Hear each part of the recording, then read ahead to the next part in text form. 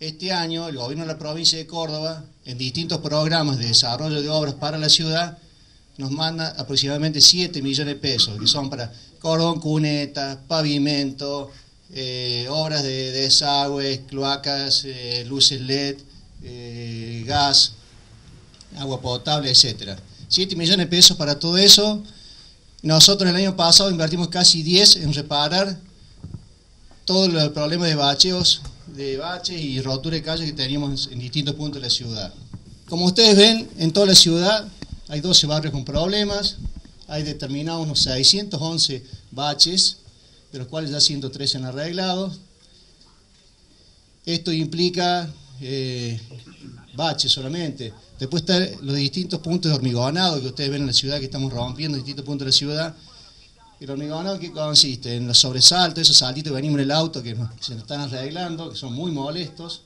Es para que se queden tranquilos, pedirles disculpas el caso, porque obviamente eh, a nosotros nos gustaría trabajar mucho más rápido, ser mucho más efectivos, pero bueno, es el tiempo material del cual disponemos y el tiempo nos permite.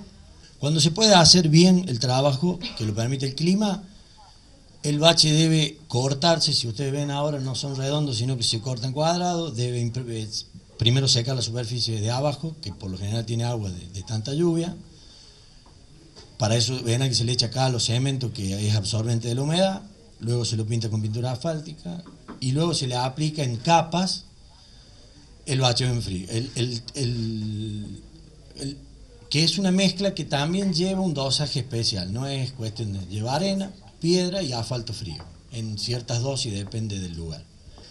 También tenemos la crítica de que por qué no arreglamos, por qué no cambiamos calles donde pasan los camiones que están totalmente deterioradas. Si nosotros nos ponemos en esto, sostenemos que son calles que deberían ser de hormigón si van a seguir pasando los camiones. La idea es que no pasen más, que pasen por el tránsito pesado. Entonces, si yo rompo hoy para hacer hormigón en esas calles, estoy desviando los camiones por otra calle, entonces me rompe otra más. O sea, la idea es mantener como se puede las que están, hasta tanto podamos desviar los camiones.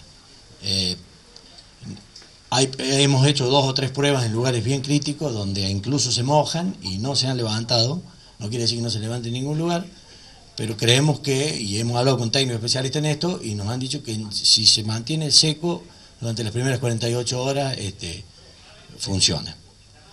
En cuanto a los hormigones del centro, hemos escuchado gente que nos dice que hacemos todo en el centro.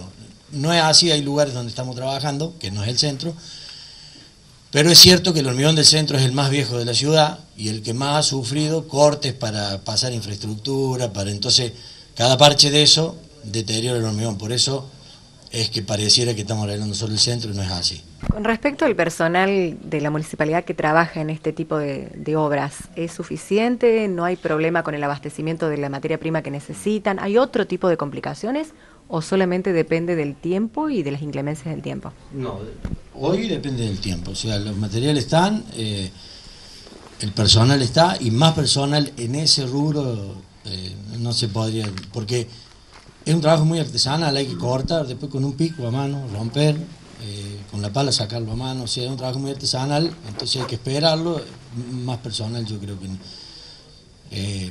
pero sí, no, hoy tenemos el personal, sí lo que es programa de pavimentación de acceso barrial, ¿en qué, en qué instancia quedaría? Porque la prioridad, digamos, lo tiene esto. Eh, vamos a tratar de comenzarlo con los fondos que van a venir de la provincia, de estos, de estos fondos urbanos de desarrollo, que van a empezar a llegar.